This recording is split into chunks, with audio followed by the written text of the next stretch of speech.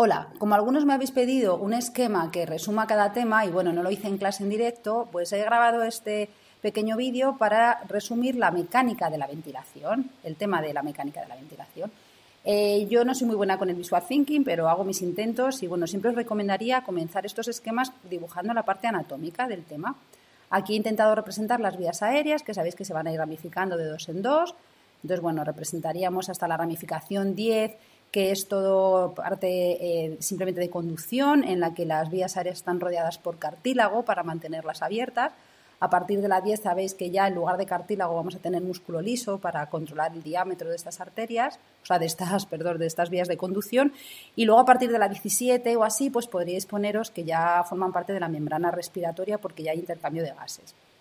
Colocamos los pulmones y bueno, vamos a empezar el esquema hablando de las propiedades estáticas de los pulmones.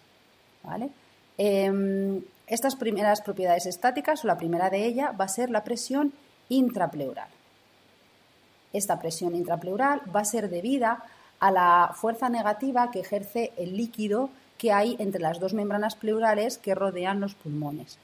Este líquido está siendo ligeramente succionado y va a ejercer una presión como de vacío, una presión negativa.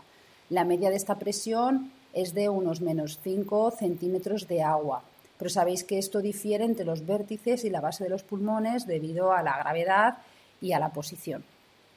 La presión intrapleural, lo más importante que tenéis que saber es que evita la atelectasia, es decir, el colapso de los pulmones, puesto que es una fuerza negativa que eh, expande estos pulmones.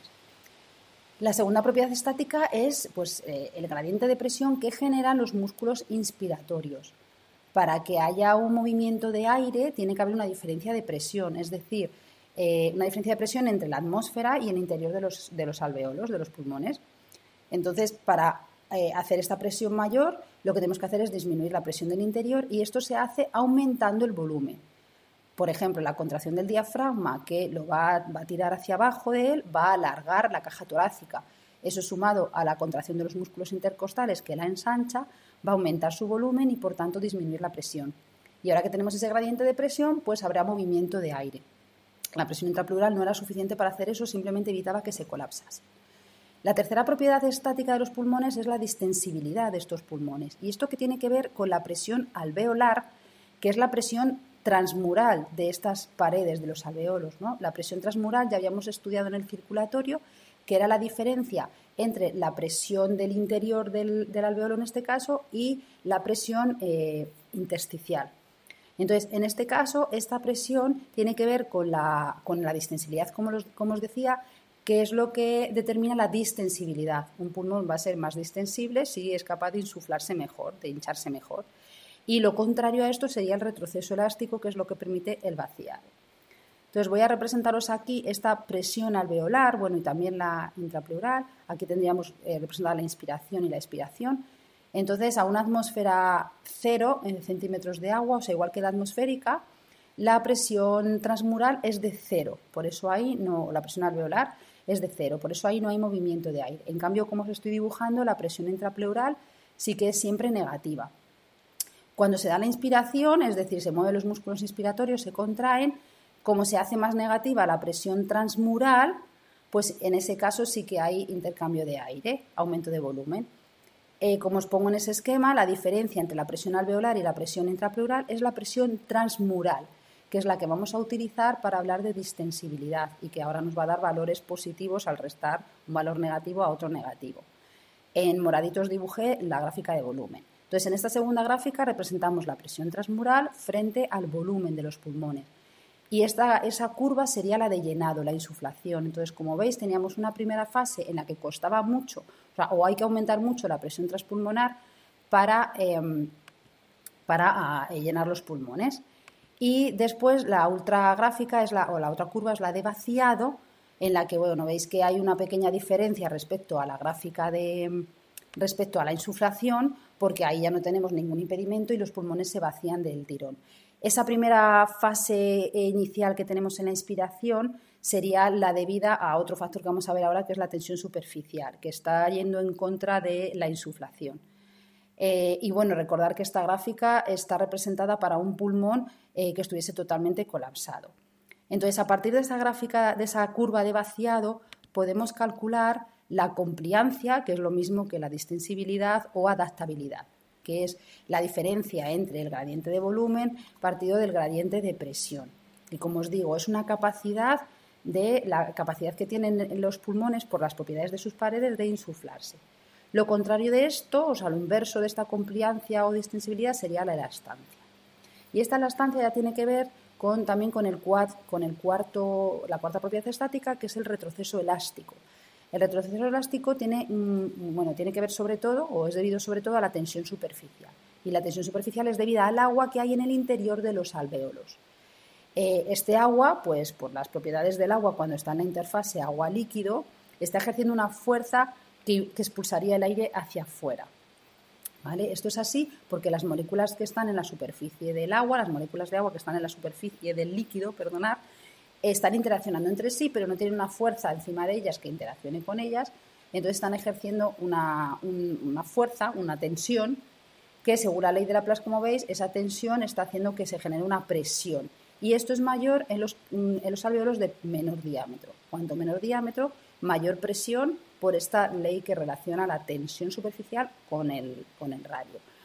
Eh, para evitar este, este, colapso que provocaría la tensión superficial, eh, los neumocitos tipo 2 secretaban el surfactante pulmonar, que tiene una gran cantidad de lípidos sobre todo, aunque ya sabéis que tienen otras, otras proteínas también, eh, que tienen que ver con el sistema inmune, y estas, estos lípidos lo que hacen es eh, reducir la tensión superficial para reducir la presión en los alvéolos pequeños. Ahí os estoy indicando que además el retroceso elástico también se debe a la matriz extracelular que tiene elastina y a las propias propiedades eh, elásticas de las células. Todo esto sería en cuanto a propiedades, eh, como os digo, estáticas de los pulmones. En cuanto a las propiedades dinámicas de los pulmones, pues estas tienen que ver con el flujo de aire. Em, este flujo, como vamos a ver, puede ser un flujo laminar, pues es el que sucede sobre todo en el inicio de las vías aéreas,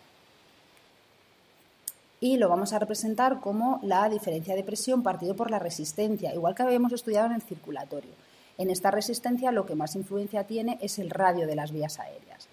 Esto, como os digo, si fuese un flujo laminar, pero en el caso de las vías aéreas, como se está ramificando todo el tiempo, nos encontramos con un flujo turbulento en cada una de los cruces que nos va a llevar a una suma de flujo laminar y flujo turbulento que es un flujo traslacional. ¿Vale? Como veis ahí. Entonces, bueno, esto hace que la ventilación, o perdón, el flujo aéreo eh, sea más bien una constante multiplicado por la raíz cuadrada del gradiente de presión. En realidad, esta fórmula de momento no nos va a hacer falta para nada. Para mí lo importante es que entendáis cómo se regula este flujo aéreo. Entonces, una forma de regularlo es a través del diámetro de los bronquiolos aumentando o disminuyendo el diámetro de los alvéolos, aumentaríamos la resistencia. Y esto se hace por la contracción del músculo liso que rodea esos bronquiolos. Si, aumenta, si se contraen, disminuye el diámetro, como tenéis ahí, se provoca broncoconstricción.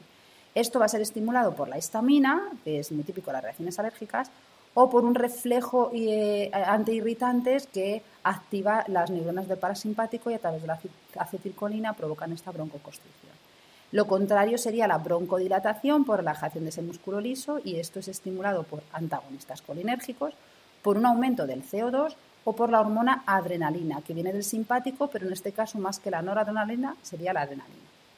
La segunda cosa que tiene que ver con la regulación del flujo, pues es que eh, cuando aumentamos el volumen de los pulmones en la propia inspiración, va a disminuir la resistencia de estos bronquiolos. Esto se debe a que se produce un aumento del diámetro y a un proceso de interdependencia.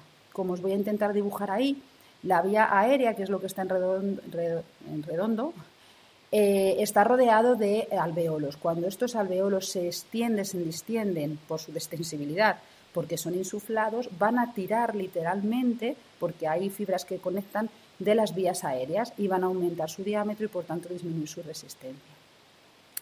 El tercero de, los mecanismos o de las propiedades que tienen que ver con la regulación del flujo o con el aumento de la resistencia en este caso es, es que haya una patología. ¿no? Entonces, si hay una patología que provoca eh, obstrucción de las vías aéreas, un aumento de la resistencia, van a cambiar algunas propiedades. Por ejemplo, va a ser necesario más tiempo para la insuflación. Esto, si lo pensáis, es bastante lógico, ¿no? No hace falta ninguna gráfica. Si está obstruida la vía aérea, necesito más tiempo.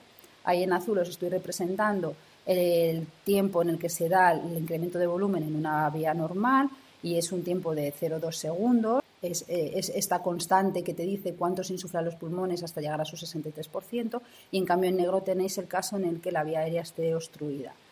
Y otro, otro impedimento de una patología que aumenta la resistencia es que va a disminuir el volumen corriente y esto se nota sobre todo con el tiempo. Al aumentar la frecuencia respiratoria, cada vez ese, es menor ese volumen corriente que es el volumen de aire que intercambiamos en las respiraciones normales.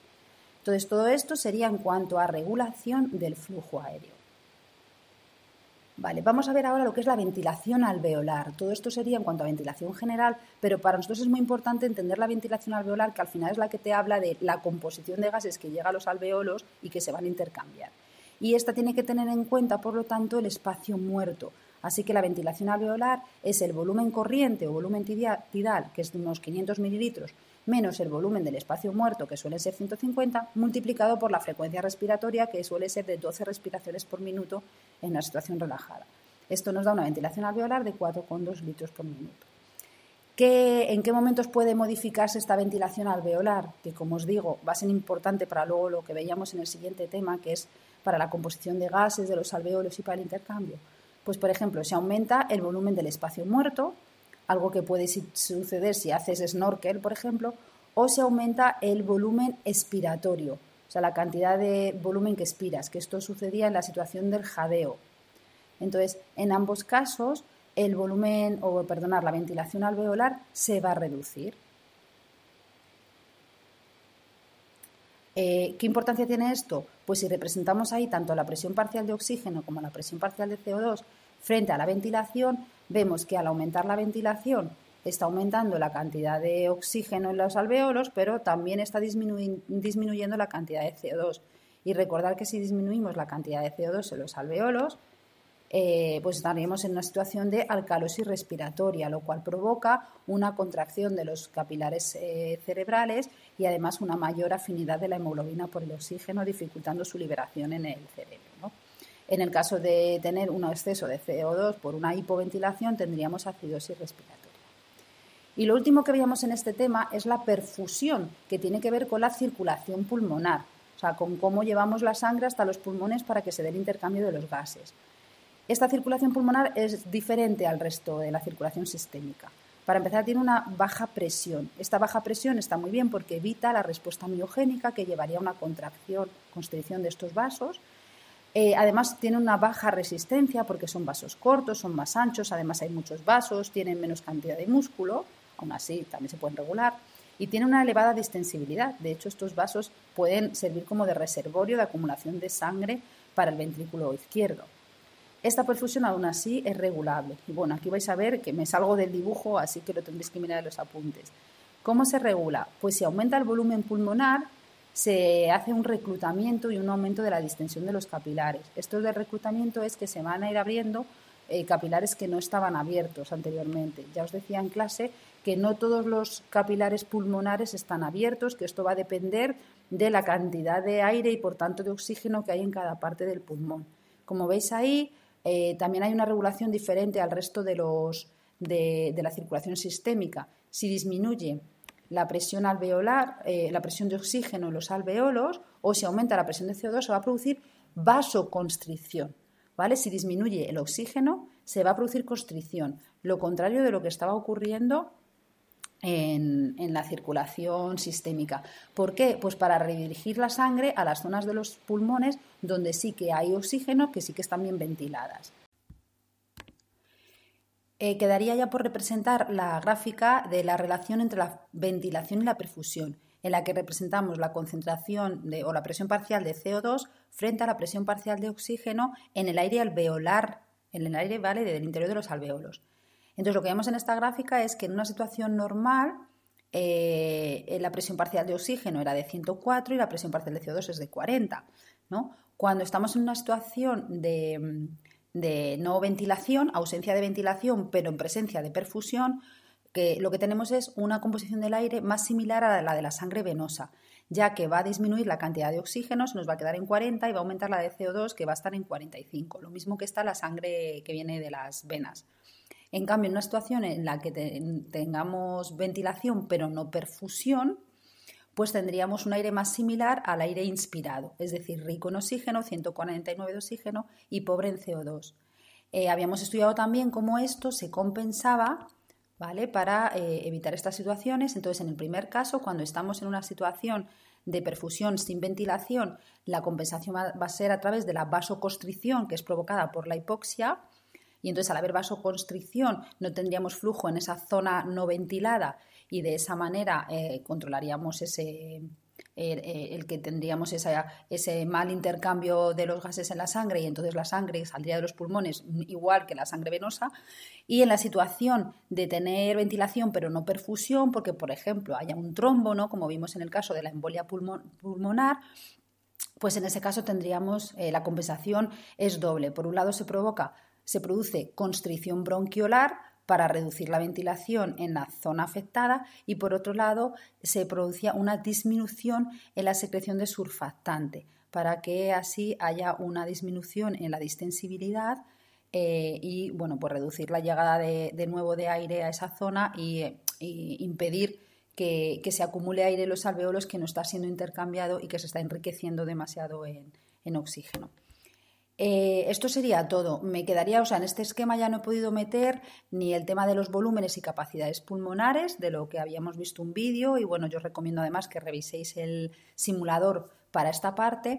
Y luego, en cuanto a regulación, nos quedaría la regulación general de la ventilación, que es modificando o activando el centro respiratorio que se encuentra en la protuberancia y en el bulbo, y en el bulbo raquídeo ¿no? de nuestro tronco encefálico y que recordar que es a través de la activación de los quimioreceptores, quimioreceptores aórticos y cartoideos que son sobre todo sensibles a la composición de oxígeno, ¿no? esto es lo que llamamos quimioreceptores periféricos y que en situación de hipoxia lo que van a hacer es activarse y mandar, activarse porque además cerraba canales de potasio y tal, y mandar una señal al centro respiratorio para que aumente la ventilación y luego los quimioreceptores encefálicos, que son sensibles a los protones y van a detectar cambios en el pH de la sangre y en la composición de CO2. Lo que sucedía en este caso es que aumentaba el CO2 en sangre, que este es el que puede difundir y atravesar la barrera hematoencefálica en el líquido cefalorraquídeo junto con el agua por la acción de la nitrasa carbónica se convierte de nuevo en protones e ion bicarbonato y estos protones son los que activan los quimioreceptores centrales. Llamamos centrales porque están ya en el sistema eh, nervioso central y van a activar la ventilación. Y esto sí que sería todo para terminar el tema de la ventilación pulmonar. Espero haberos ayudado con este esquema. Un saludo.